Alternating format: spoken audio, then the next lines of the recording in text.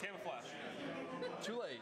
The Dirty 20 Nerd Bar, located on Manchester Road in Ballwin, Missouri, is a family-friendly place where nerds can hang out, play their favorite games with friends. My wife and I were hosting D&D for three years at our own house, uh, and we just kept joking, oh, it'd be really great to have a place to go and play and be able to enjoy it in a setting where we don't have to clean up after everybody once they leave.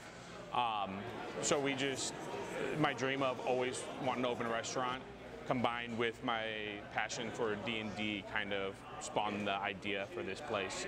I play all sorts of board games. Um, I need to come down here and play Magic at some point. I know there's a group uh, that comes out on the Thursdays and plays uh, Commander for Magic the Gathering, uh, which is another game I play.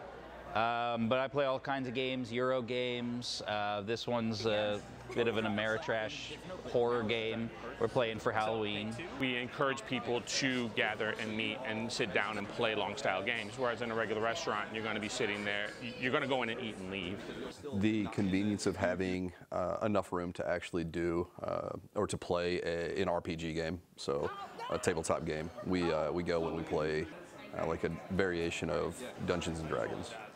Um, and then it's just, once again, it's just being around the individuals and you kind of look around and you see everybody's kind of enjoying themselves by playing all these different games that, um, you know, typically don't have a space outside of you know, somebody's basement, a garage, an attic.